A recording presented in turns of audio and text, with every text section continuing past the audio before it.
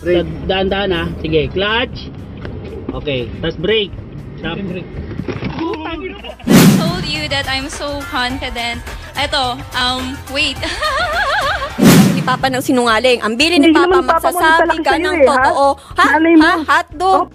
Maligayang maligayang pagbabalik mga ka-good vibes. Narito na naman tayo at magbibigay sa inyo ng the most funniest pills in the Philippines.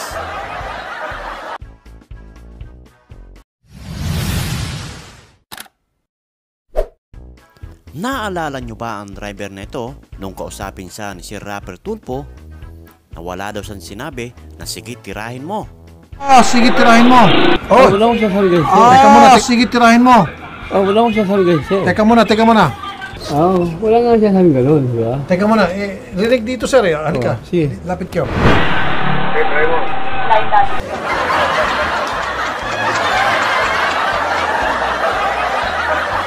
naman ang dala ni kuya habang ito ay tinuturuan. Hohayan, hindi niya kasi makita kung asan yung brake. Kayo naman. Brake. Brake. Daan-daan ha. Sige, clutch. Okay, tapos brake. Stop.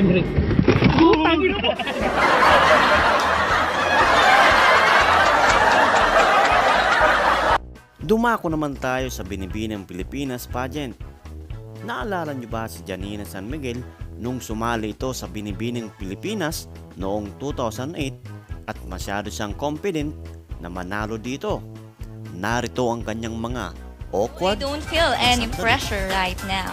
Well, my family's role for me is so important because there was the there they was the one who's very my family. My family. Oh my god. I'm okay. I'm so sorry. I I told you that I'm so confident. Eto, um, wait.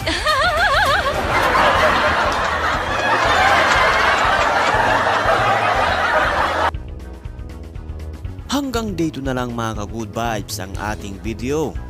At sana ay nagustuhan mo. Huwag mo sanang kakalimutan mag-like, share, comment, at subscribe. Maraming maraming salamat po. Kung nagustuhan mo ang presentasyong ito, huwag kakalimutan i-click ang notification bell para di ka mahuli sa mga kwentong good